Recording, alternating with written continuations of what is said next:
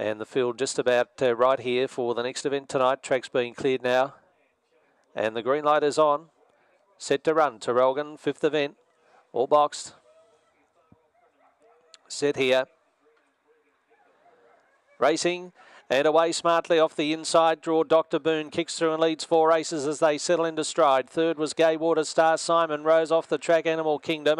Next in the race, Green Can led well back with Unique Mundine and back to last is Baggy's Gold. But Dr. Boone shot away. Four in front. Four races tries hard with the outside. There was Simon Rose, but it's all Dr. Boone. Races clear and scores well. Second Simon Rose. Third four races. Gay Water Star fourth. Behind those Green Can led Unique Mundine back with Animal Kingdom Baggy's Gold. In in 22.04. Number one is the winner, Dr. Boone. One is first. Dr. Boone takes out the opening leg of tonight's quaddy. Three second. Simon Rose, five, four races, third, and two will be fourth. Gay Waterstar.